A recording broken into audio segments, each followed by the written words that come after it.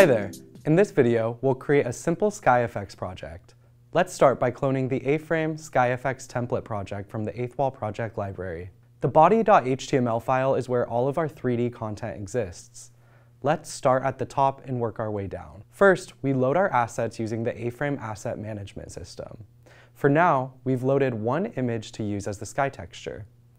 Next, we've placed a camera in the center of the scene to represent the user. Finally, lines 22 through 36 define the 3D content that exists in the sky.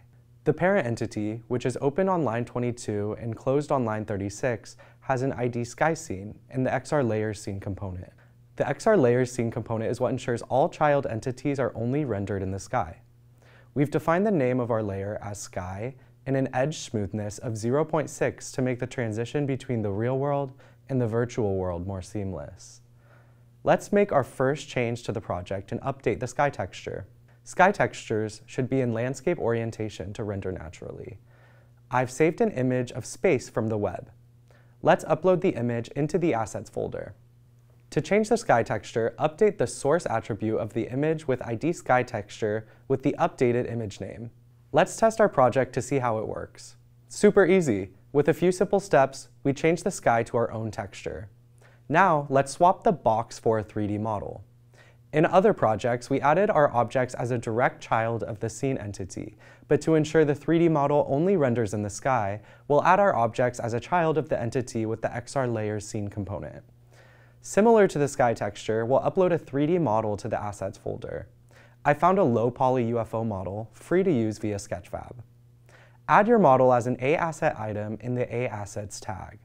Again, we'll give the model an ID to reference it later and a source.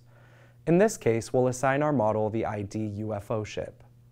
To add the model to the sky, we need to add a new A entity. We'll add the GLTF model component to the entity and reference the ID of our model asset using a hashtag.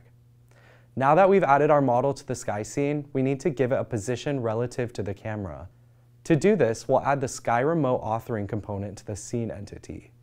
The Sky Remote authoring component simply removes all of the AR-specific components from the scene so that we can preview the 3D scene in standard A-frame WebVR.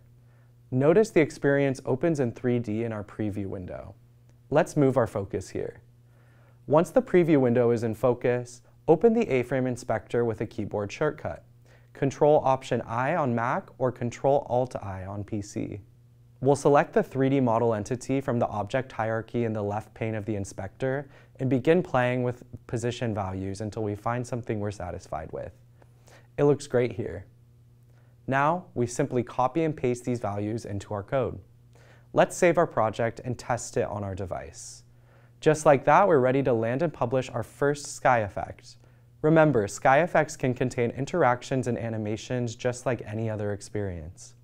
Thanks for watching, and remember, the sky is not the limit.